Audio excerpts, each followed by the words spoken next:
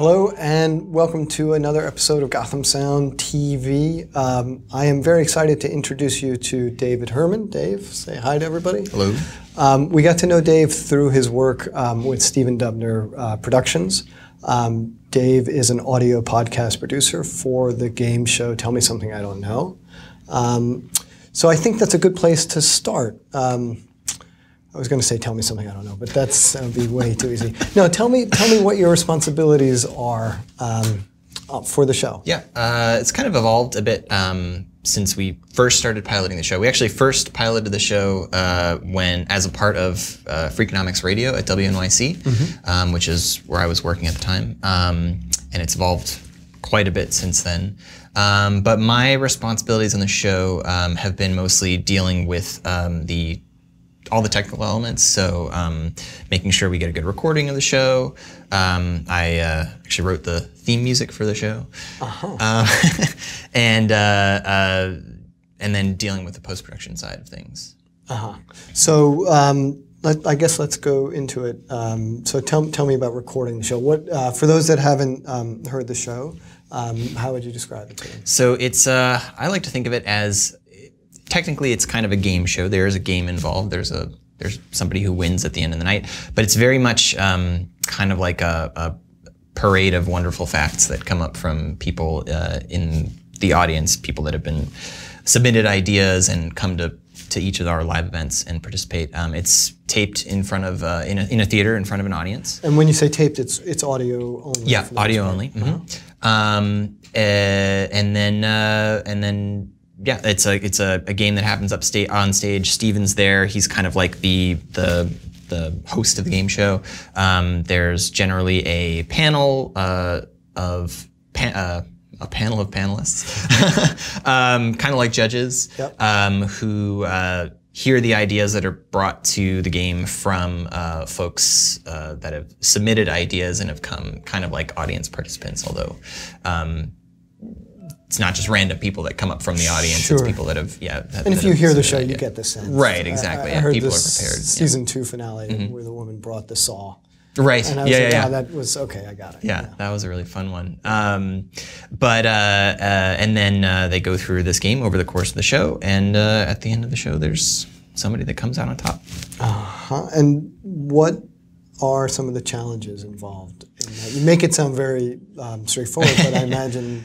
Um, well, uh, it's it's funny because um, there's generally it doesn't feel like there's a lot of uh, I mean purely technically it doesn't feel like there's a lot of sources uh, a lot of you know a lot of channels that you need. But we end up actually pushing usually to like 18 channels that we're recording which is kind of like just past the threshold to use like 16 is always exactly right, Yeah, right and you know you want to in case something you know so there's something that comes up that like like there's a saw lady that comes up that you, you want to throw a mic on that like you want to make sure you have a little bit of flexibility built into your rig to be able to add that in Uh, and you, and we should we'll link to this um, in the episode, but um, this is not just a saw lady. She is she was like one of the preeminent. she's like one of the preeminent saw Guinness Book of World Record holders. not sawyer saw sawists that's the, that's the term yeah um, right yeah she's she was amazing um, uh, plays plays a beautiful saw Yeah, um, yeah. yeah but uh, eight, eight so 18 mics. Um, No, well, not all mics. 18, uh, yeah, 18, ch- 18 channels. So I'm also printing um, uh, a reference mix at the same time, Mm-hmm. a stereo reference mix, um, and you know, there's the mics on stage, the people that we hear, but I'm also doing usually two mics, uh, either uh, on the downstage edge, you know, audience mics, reaction mics, Uh-huh. and then I'll usually have um, a stereo mic at the back of the house to sort of capture like the the the acoustics of the room, kind of, just so we get a sense of what the space is like. So all that put together, uh, yeah, ends up being kind of like just just past like the threshold for you know uh, for yeah 16, 16, channels yeah. exactly. It's funny. Everything comes in sort of groups of eight. Right. and you're always pushing the next into the next group. right. Which, uh, like you said, I think it's good to have spares. Right. Um, how important is recording the audience? Um, you know, how, how does that? Oh yeah, I mean that's you know we say really that you know it's a live show, but really like you might have anywhere between two and eight hundred people in, a, in an audience, depending on you know where where we're taping the show. Um, but uh, really the audience of the show is you know all the people that are going to be downloading the podcast later on, and we've definitely noticed like in on nights when excuse me we had sort of a, a medium audience in the house that translates to a show that feels like kind of medium you know like the energy it's that en- energy of the live audience uh, that you really feel. So getting a good capture of that is really crucial i think to helping that all come across And um, can we talk uh, geek specifics for a second? So, uh, what are your mic choices for the panelists and for the audience? We've done a few different things because sometimes, you know, when we travel, different companies will have, uh, you know, different gear available to to us. Um, but typically, we're doing some kind of. Um, actually, at this point, we're now doing three. We're usually doing like two shotguns, stage left and right. Um, and that varies between Schoeps and Sennheisers usually. Um, and then uh, we'll have a usually a cardioid center stage uh, to capture, get a, just to fill out the image a little more in the middle. Sure. Um, yeah, I mean, stereo is is is really nice for this, um, but also too wide of a stereo, too much stereo. Um, when you're starting to deal with MP3 compression, you start to notice a lot more of the artifacts, and um, it just yeah. So so it's generally pretty. We try to keep it pretty tight, but you do want a little bit of the air to feel like you're in a live event, especially if you're listening with headphones. And and for panelists, do you have a, a go-to mic for them? Uh, it, again, it depends. Um, I mean, lately what we've been doing is we've been putting them on uh, uh, DPA 4066s. So um, we started off using handheld mics for everybody, and that just got a little too complicated just because of like the geometry of the stage. People were like looking left and right, and they would go, go off mic and stuff like that. Right. So um, yeah, so we said we'll just put them on headsets, and and it creates a little bit of a panic moment at the very beginning of the show because they actually come on stage during the show. They they don't, and and they're. Uh, I should also say that they're wired, so we don't. uh, You know, they're sitting in chairs the whole time. So Right. for reliability's sake, we just wire them up. Sure. Um, and uh, uh, so they come on stage during the show. Stephen kind of like pauses the action of the show. It's not a live show, so we have a little bit of flexibility where he can say like, okay, we're taking a minute. We're gonna get these guys set up in their mics, do a quick like test one two one two.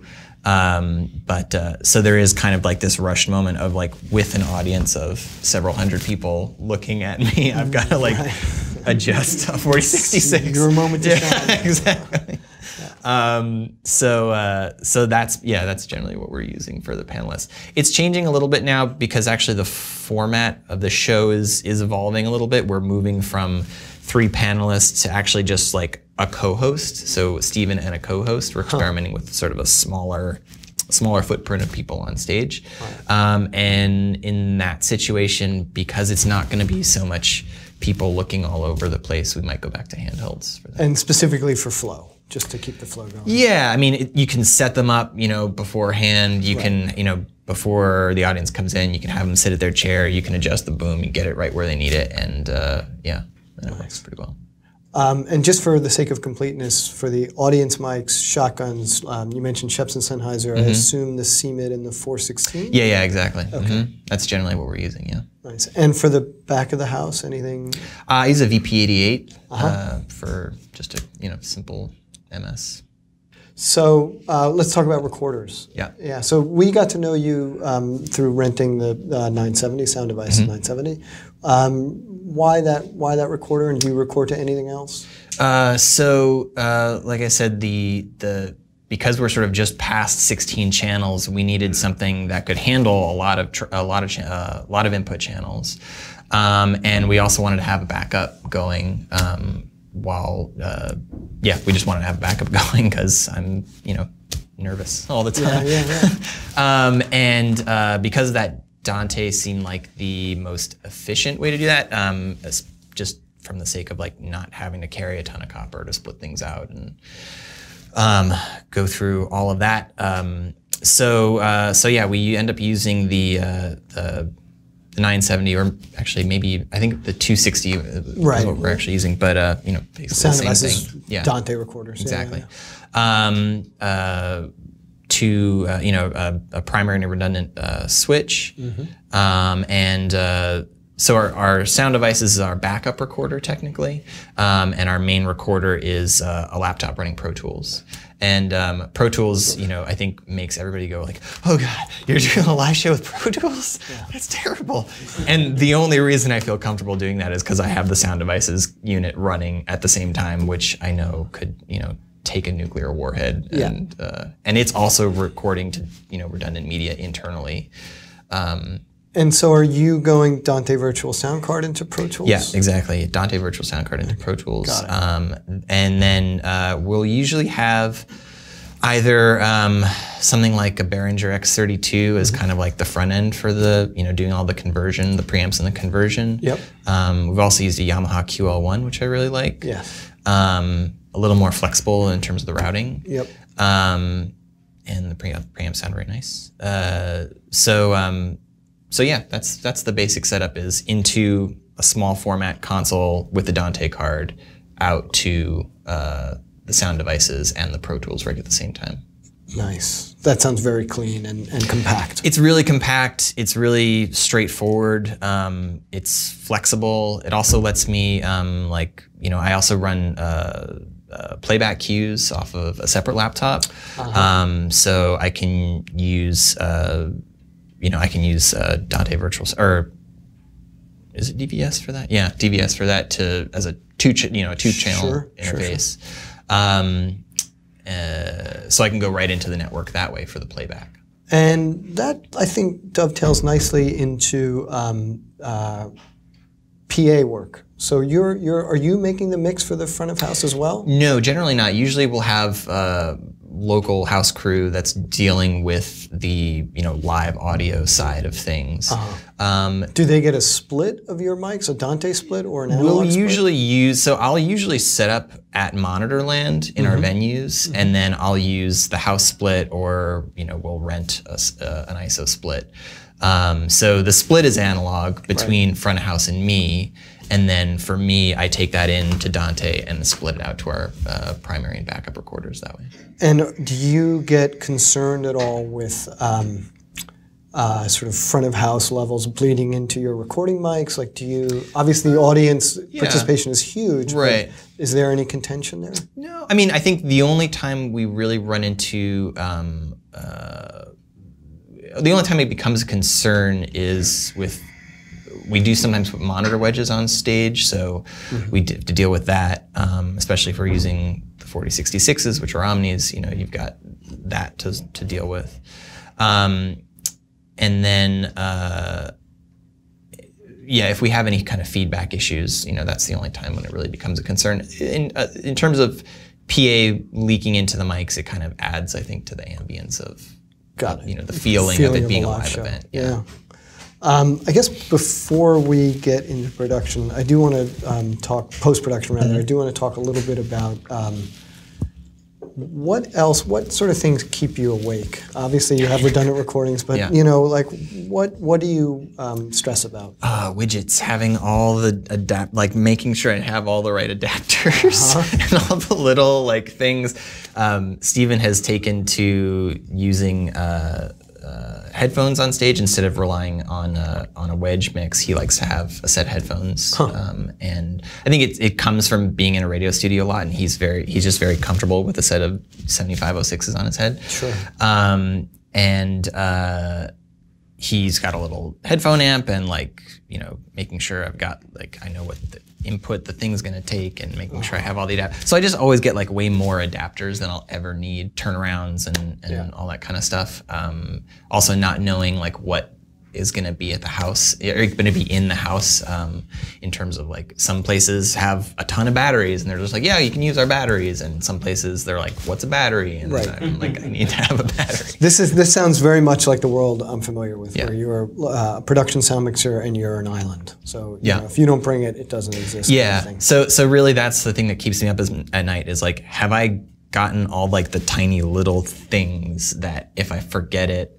like there was one show that we did in uh, Chicago where I left my um, uh, Thunderbolt to Ethernet uh, adapter in the in the house where we were staying. Yeah. And uh, I can't run Dante virtual sound card into a computer that has no Ethernet port. Right, it is one downside. Um, so uh, so yeah, we like had to have somebody like run out to the closest Best Buy and Yeah. and get another one. Um, which which is kind of amazing, you know, that we live in that age. Yeah. Uh, that you know, I mean, it used to be like you could go to Radio Shack and solder stuff, uh, but now it's like Amazon, uh, Amazon Now. oh yeah, exactly. Like it, we can solve it. Yeah. So Uh, definitely, those are those are the things that keep me up at night. Um, so so that leads me to the question of: uh, Are there production tools that are under hundred dollars that you just cannot live without? Well, this uh, probably more on the post production side Okay. uh, for myself, um, because I mean, tell me something I don't know isn't the only show I work on. I also mix a lot of shows and uh, produce some shows and write music for shows. So I've got, um, and I'm often working in an environment like a like a non-ideal listening environment. So I've got headphones on all the time. um, a set of uh, deep ear cups for my 7506s changed my world. Whoa! because a 7506 is I think technically I don't know if they if they sell it as um, an over ear on the ear uh, headphone. Uh-huh. But the way my ears are shaped, I'm getting like pressure like right here. Yep. And if I've got a set of those headphones on for like four or five hours, you know, at a time, or maybe not not at a stretch, but over the course of a day, I'll have a set of headphones on for six or seven hours. My ears like start to feel like they're gonna fall off. Yeah. And so I bought like a $35 pair of, they're maybe like three quarters inch deep or something, and they just, you take off the stock ear Yeah. cups and you put those on, and it just like lifts the, the, the, the driver, you know, off your ear, you know, just a little bit so that there's no pressure there. Changed my world. That's amazing. we'll have to get a link. Uh, all right, and, and share. That's awesome. Uh, uh, very cool. Um, what responsibilities do you have um, for post production when you're recording the shows? Um, so, yeah, file management is one part of it. So making sure that um, you know I've got my backup recordings for as long as I need them, and you know the primary recordings all uh, I know where they are and I've got them managed. Um, the editing process uh, for the show goes through a lot of different um, sets of hands, or at least a couple of different sets of hands it's, we're trying to streamline it a little bit, but uh, you know, it, it definitely goes through um, kind of somebody who's editing for content, and then somebody who's sort of cleaning it up to make sure that that it sound good, and then it's kind of going through a mix.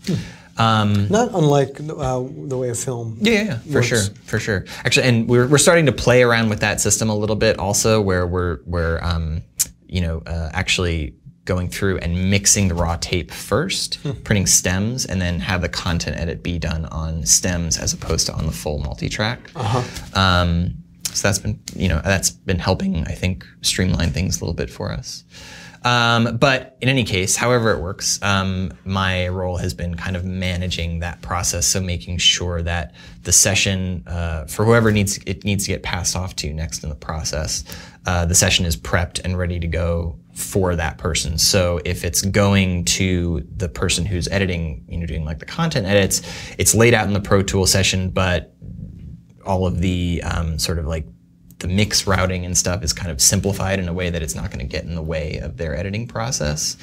Um, and then once that's finished, uh, making sure all of the um, sort of the, the post production cues, like kind of sound moments, like uh, if we have interstitial music or the theme and stuff like that, like the structure of the show is uh, kind of set so that when it goes to the mix phase, um, all that stuff's in place and the mixer doesn't have to guess at like, well, did they want music here? Do they not want music here or something like? And is that with markers in Pro Tools? Uh, no, actually, I'm, I'll go in and I'll like throw the cue here. I'll throw the cue. I'll, I'll, I'll place stuff in the timeline and just kind of get things uh, assembled in a way that they can just sort of be that they can just be mixed from there, as opposed to having sort of like a hybrid edit mix kind of phase.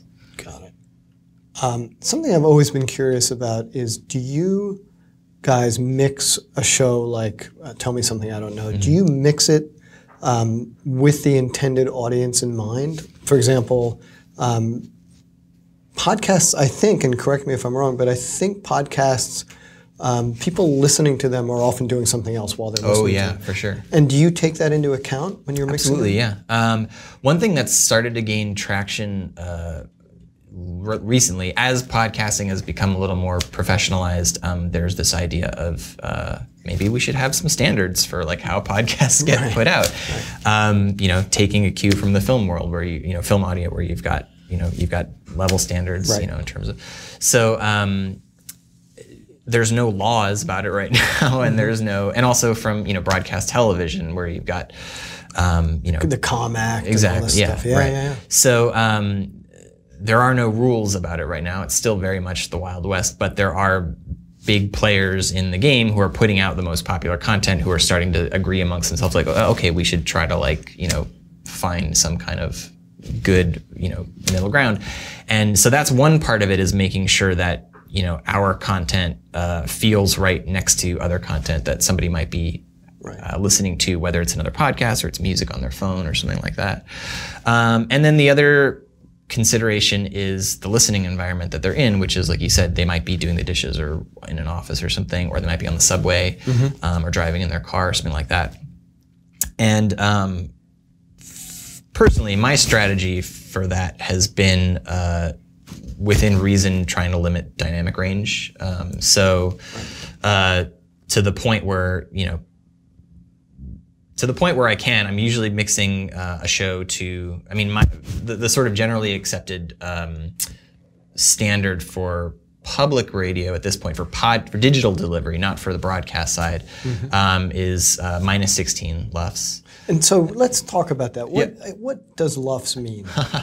Uh, so my, I'm certainly not a not a physicist and not a not a, um, a whatever. But even if you electrical engineer talked about it in terms of like if you set it to minus eight LUFS as opposed to minus, what what what is it what is it doing? So uh, loudness, the way I like to think of loudness is kind of like it's kind of like volume. It's kind of like the volume knob on your on your stereo, um, but tailored a little more specifically for how we hear, uh, how we perceive sound, so that um, you know you might have. Uh, on, on if your volume knob's turned up, you might have a very low sound and a very high sound that are you know technically they're they're registering the same like the same little LED on your meter, but they might sound totally different because we just don't hear all frequencies the same. Sure. So uh, LUFS takes that into consideration a bit uh, in in the metering process um, and helps um, helps things feel if, if the numbers are more if the numbers are consistent, the feel should be consistent. Is kind of the way I, I like to think of it.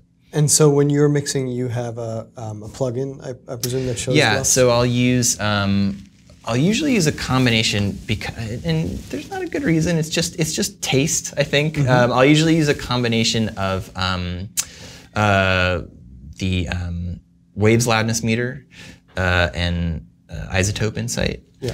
Um, and there's not a good reason for this. It's just my own quirks. Yeah. Uh, is that I will mix to minus 24 actually, which is kind of which is like the broadcast uh, coming into its own as the broadcast standard.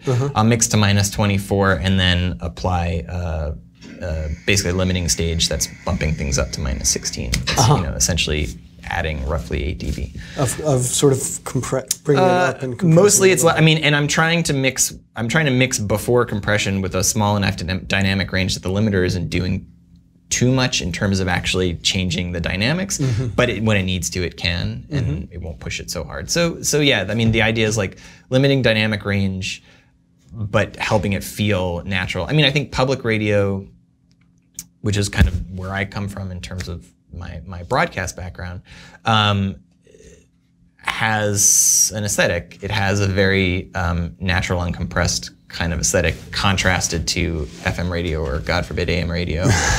um, and and that's something that you know, uh, being a podcast that comes out of the public radio uh, ecosphere. Uh, we try to carry that through. So, so yeah, I think it's about limiting dynamic range without uh, without too much compression. And there are other tools, you know, that I use for that. I've been using um, uh, what call it, uh, Wave Rider recently a lot, um, where um, you know I'll kind of it'll it'll help me kind of do a pass on say a you know a vocal tr- vocal track or something like that um, to kind of even things out a little bit, and then I can apply a little bit of compression after the fact that can be a bit more gentle. Um, and uh, and then my final limiting sta- my final limiting stage then again doesn't have to be as intense. Uh, And what about during uh, re- recording? Any any do you print with any limiting or compression or? No, we're going pretty dry. Um, all of our. I'm trying to think. Yeah, no, we don't do any processing. Uh, yeah, shit tape. And during the show, how involved are you um, in terms of like if somebody's popping their their mic, to, Oh, yeah. you sort of jump yeah, yeah. in? We'll we'll definitely um, you know if if needs be um, we can. It's not a live thing, so we can stop the show um, if there's something really egregious. Um, you know, we try to set things up before the show as much as we can, so that we don't run into problems that we can't Sure. easily deal with in post production. Um, you know, we have had to swap out a headset mic. You know, that felt like the element was going bad. Yeah, stuff like that. And stuff on the edge, I always wonder about. Like if somebody has dry mouth, do you do you like say, you know, you might want to put some water? Like how do you? Uh, we Like how deep? How deep do you? We have, I mean, we certainly have run into people. I mean, there are some people who just have very soft speaking voices, even when they're in front of uh, a crowd of people, and that there's not a ton you can do about it. So you just Right. deal with it. Um, we haven't had any dry mouthers, which is good, Yeah. I guess. Uh, not that I can remember. I'm trying to think of other folks. Placement becomes an. I mean, when you're using the headset mics, placement becomes a real issue because, you know, too far back and you'll get their jaw kind of muffling everything. Oh, um, I have had to ask uh, someone to remove their um, earrings because it'll be clacking. You know, if they have like bangly earrings on, it'll be clacking against the microphone, and we'll hear that. So, um, so yeah, little things like that to try to help if we can. Cool. Good.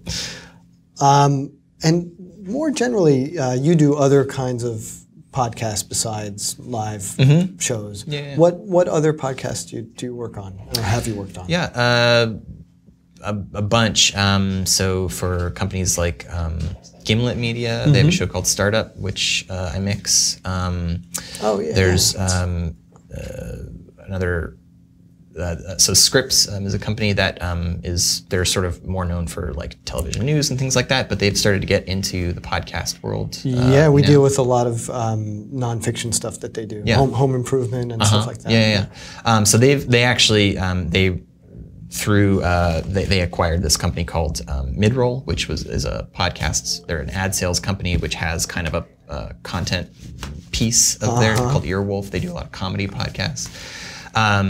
Let's let's talk about that. I'm yeah, big curious. fish swallowing little Yeah, fish. no, because uh, a couple years ago, podcasts like were you know not were not everywhere. Yeah. Um, it was you know sort of considered um, not esoteric thing to listen to, but like you know you were old fashioned sure, yeah. kind of thing, and and now.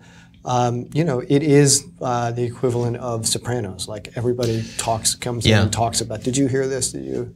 Yeah, yeah, definitely. I mean, uh, it's you know, I think Serial definitely was a thing that that kicked things off for people. I mean, podcasts had started to become a thing before that, um, and had started to gain some traction, but Serial was the first uh, podcast to produce listener numbers that you know were starting to look more like television than Right. radio. I mean, I I, I guess um, S- Stephen said uh, four million downloads for for um, Tell Me Something I Don't Know. Yeah, I think I'm. I'm. I haven't checked the numbers in a while, but that doesn't surprise me. I mean, Freakonomics Radio regularly pulls in, I think, four to five million listeners a month. Yeah, that's huge. Yeah, yeah, yeah, for sure. So I imagine some advertisers. Exactly. Yeah. I mean, it's it's the kind of thing where suddenly there's people listening, which means that okay, advertise or people with an advertising budget are like, oh, this is a place where we want to park some dollars. Um, I I joke to, I half joke to a lot of people that like if you know Squarespace and Mailchimp ever go out of business, I'm going to be out of a job. Yeah, right. Because there are like a couple of companies that really specialize in podcast advertising, Yeah. um, or at least they they're very present in in the podcast world. Super captive audience. I mean, it makes sense. Yeah, And it reminds me, you know, I grew up listening to Howard Stern, and like Mm-hmm. when he would read commercials over the air. Like that's sort of what Yeah. it harkens back to. It's, Yeah, yeah, It's yeah. back, it's, it's back to the future in some For ways. sure, yeah. I mean, that's that's the thing is like they. It's a place where it's um, it's okay for, uh, or I mean, okay in quotes for like the host of a show to like just come on and pitch a product, Right. you know, at a certain point. And you know, there are obviously there are companies and there are people that try to be conscious that when they're doing it, like you know, they're doing it. It's not just. Um, Startup was good at that. I think. Right, startup Alex, did that, and. Reply All is Yeah. you know the, the- actually their whole comp- Gimlet as a company is you know generally they. I mean, it's interesting because for them they produce a lot of their ads as little mini stories, so they make them fun to listen to, but at the same time they're also very clear that like this is distinct from our program. Right. Um, you know, the other side of it also is is the branded content side, which is now becoming even more of a player, and lots of people want you know their own podcast series for their company, branded from their company, and it's either not necessarily always just like talking about the company, but talking about tangential something tangential that sort of relates to the company. Like um, GE uh, sponsored a, a podcast called The Message uh, not too long ago, and they had a follow up called. Um, that's the name is escaping me, but uh, it's it was basically um, they they the show was kind of um, it was a fictional show, uh, and it had some science and technology themes in it, but it was just branded as being part of I think they called it the GE Podcast Theater, which felt very cool and old fashioned to me. Yeah, I mean that's that is. Um, I don't think it was GE that had that. It was, um, Ford or somebody had the theater. Uh, uh, CBS Live TV it was called. CBS Radio Workshop, but there was um, it was like a soap company, right? Yeah, it was yeah. oh, it was um, Procter and Gamble. Yeah, it was Procter and. Gamble. That's exactly what it was. It was Procter and Gamble, and that's where the term soap opera comes from, Yes. yes. because that's it right. was these this company, you know, uh, sponsoring Huh. and and you know, advertising for Downy Snow or whatever in between, When you do um, or Ivory Snow. That's cool. uh, the podcasts that are um, sort of more maybe documentary in nature, Mm-hmm. what are some of the tools and the techniques that you use? Um, so uh, small, like por- small portable uh, recording rigs are um, really commonly used, um, and generally you're looking at uh, little handheld two-track recorders like the Zoom H5 or H4 or H5. Um, Tascams, Marantz, um, and then uh, The new sound devices and and um, Yeah. this is this yeah this is a plug, but it's a it's a good plug. Uh, the, the new Mix Pre's. I great. was I was actually going to say yeah. I mean that seems like um, I haven't looked at what the price point of those is, but um, you know if it it seems like oh man this is amazing that that they're they've got something that you know the three channel with you know the integrated recorder and and uh, that seems like it could be a really great solution for Yeah. something like this. Um, and uh, generally people are using shotgun mics to record audio in the field. Um, just if you're out and about and you want to interview somebody, it's a nice way to kind of isolate as much as you can. Um, the NTG2 is a popular choice because it's really inexpensive, although not, no knock on Rode. I mean, it's not my favorite mic. sure sure sure. Um, I've um, started using the um, what is it? The uh, ME66, which is pretty nice um, and inexpensive-ish. Um, Would you ever put a wireless mic on somebody? If we have just to, done that. Um, actually, we did a really fun episode of Freakonomics a long time ago, um, where uh, we. Do you remember that show, Sleep No More? Uh, it actually might still be going on. no. Oh, Yeah, sleep no more. Yeah.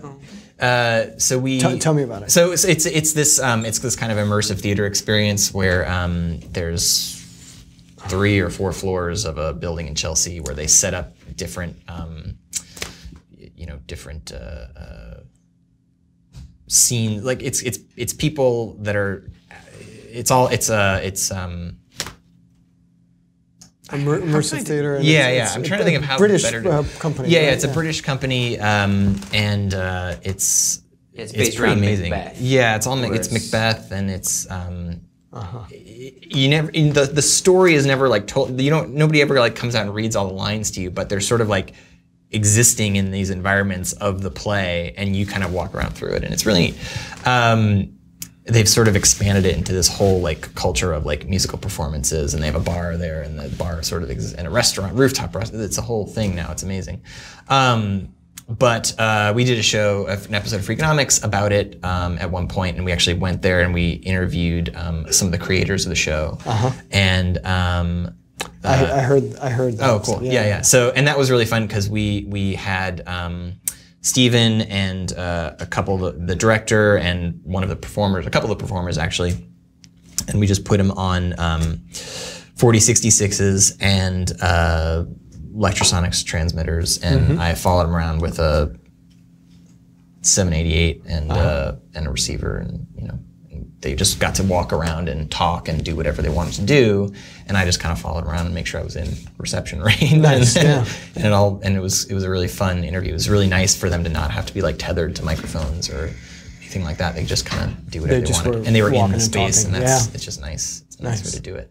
Um, so for things like that. Uh, people use wireless, but generally people are using you know wired mics and uh, and portable recorders.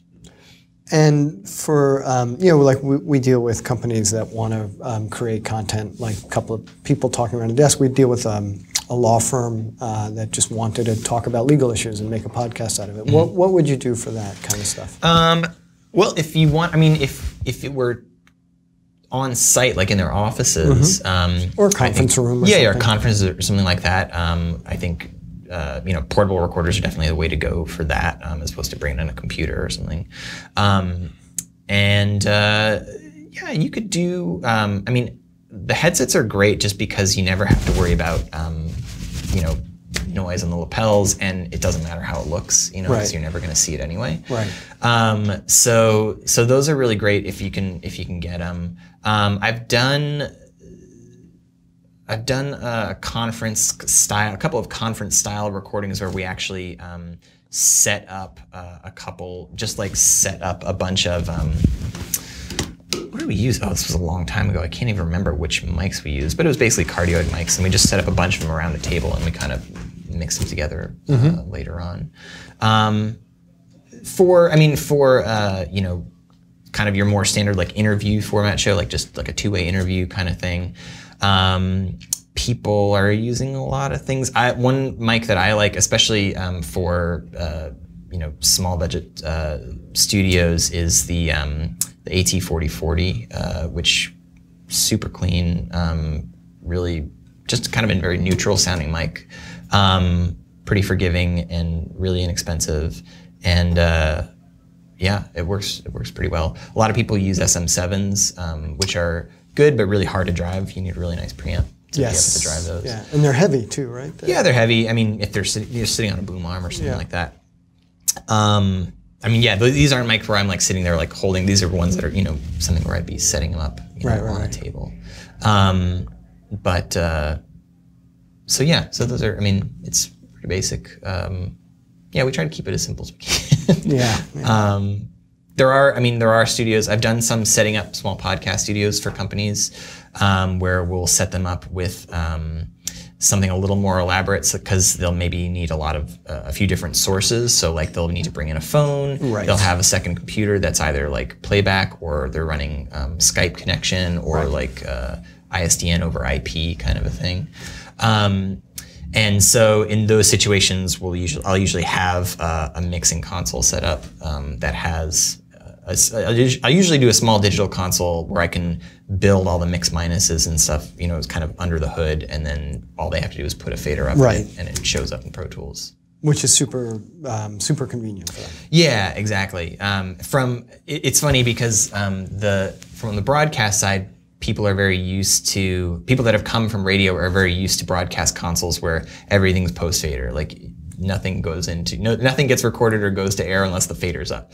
So um, so for some of the consoles actually that's been a little like I've had to do a little bit of um, acrobatics like the the Midas M32 is one that I use uh, sometimes for that and you actually have to like in order to like get audio routed to the USB card post fader you have to first assign it to like the personal monitor system and then it can go to the it's anyway. Sure, sure, sure. Yeah, yeah. it's uh so yeah, but it, but it's nice that people can be like, all right, I put my fader up. There's stuff going to Pro Tools. I push it up a little more. It's louder. I took take it down. It's softer, and it's it's just a very simple, easy to follow signal flow. Got it. Um, any anybody have any uh, questions? Any anything? I have, I have one that's very general, but Yeah. where do you, as a producer, uh, find inspiration for podcasts that you're producing? Ooh, uh, that's a good question. Um, I guess depends on what um, what part of the because I do do work on in several different parts of the process. Sometimes, like sometimes I'm just mixing, sometimes I'm writing music, sometimes I'm producing. Um, for if I'm mixing, usually the inspiration is my deadline. Um, uh, I guess always my inspiration is my deadline. Um, music is a little more fun to think about in that way because I can, you know, we can kind of build a palette out for you know the kinds of sounds that we want to use. And you're a composer as well. Um, so uh, so that and also I mean also on the sound design side it's nice we can we can kind of build out a palette you know um, of instruments but also like sort of a, a, a for any particular show it might have its own kind of balance of like how much field tape do we use versus how often do we go to narration or interviews in uh, in a studio or something like that so um, those are fun those are fun those are the fun things to sort of figure out about the sound of a show Right. um, for for tell me something I don't know. Uh, you know, the playing with figure, figuring out what the sound of the music was going to be, um, ultimately kind of influenced the the pacing of the way the final show was edited a little bit. Like it's very energetic, kind of. Um, it's very fast moving, kind of a kind of a edit compared to the live show. Um, so. So yeah, it, it's it's cool that they can all kind of feed into each other a little bit. And season two's finale of Tell Me Something I Don't Know that had its own unique challenges right. with music. It was Oh, all yeah, yeah, about yeah. music. Right. The show was about music and uh, featured a live band uh, Right. on stage. Dan Zanes. Dan Zanes, great, yeah. Um, and uh, that was really really fun. You know, obviously necessitated a lot more. Uh, a lot more input channels. We were also doing that show at the Skirball Center, which was fantastic because their house crew, well, a lot of uh, most of the house crews that we've been doing shows at are incredible. Those guys are fantastic, Uh-huh. um, and they uh, they have a really nice mic closet uh, in the house. um, so So that so we yeah we were we were very set up uh, microphone wise uh, for for what we needed to do there. How much of that miking of the musical stuff do you let them get on with and, and you tag? I mean, I I they sent you know they have their their specs of what they have in house, and from there I kind of chose like okay, I'll, let's do let's do this this and this. Um, if one wasn't available, I'd kind of be like, well, what do you think? What do you you know? I, I mean, it's something that um, you know I I. I care about within a set of like stress parameters for myself Right. and then outside of those stress parameters i'm like let's just make it work Um, I assume um, you're renting um, for, uh, you've been renting now for the season three. Um, can you talk about when that's going to premiere? So season three just uh, launched on June 4 uh, with the first episode, and um, yeah, we'll be doing. I can't remember how many episodes there are in season three uh, off the top of my head, but they're coming out every week. So um, yeah, And we'll have links to the website, and Yep. people should, ab- everybody should absolutely yeah. check them out. And uh, if people are in New York, um, the uh, we're doing uh, a few more live tapings up at Symphony Space, uh, June 9, 10, and 15, 16. Um, and all that info is on tmsidk.com. Nice. Thank you so much Thank for you. coming out. Yeah, it's a pleasure. Uh, thank you for watching. As always, please visit the video archives at gothamsound.tv. Follow us on Facebook and Twitter, and send your ideas or questions for uh, and ideas about new episodes to info at gothamsound.com. Thanks for watching. Thanks to the crew. Have a good week.